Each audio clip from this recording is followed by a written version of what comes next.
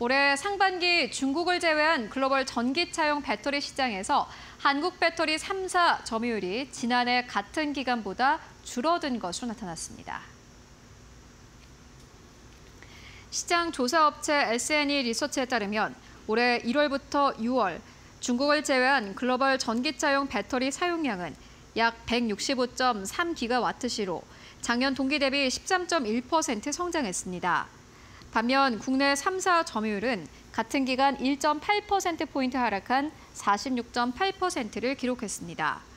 업체별 순위는 LG 에너지 솔루션이 전년 대비 6.9% 성장하며 2위를 유지했고 SK온은 6.2% 늘어 3위에 올랐습니다. 중국 CATL은 두 자릿수 성장률을 기록하며 1위에 올랐습니다.